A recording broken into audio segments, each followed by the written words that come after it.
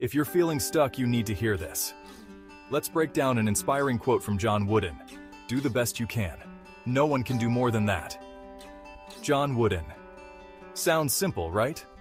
But think about it.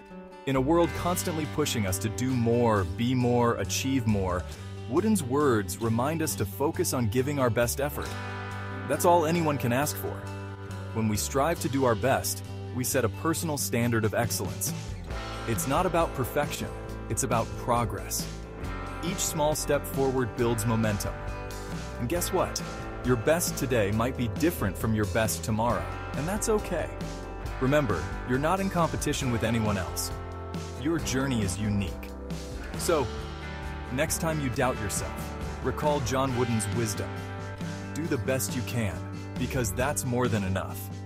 Keep pushing, keep striving, and always, always believe in yourself.